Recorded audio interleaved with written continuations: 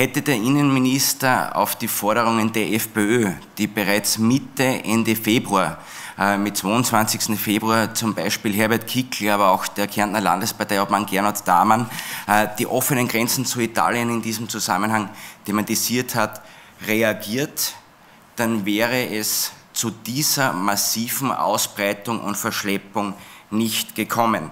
Und sehr geehrte Damen und Herren, bevor wir jetzt zum Minister Anschober kommen, darf ich noch ganz kurz auf den nationalen Schulterschluss eingehen, weil immer klarer wird, warum dieser nationale Schulterschluss von Seiten der Regierung so vehement gefordert wird.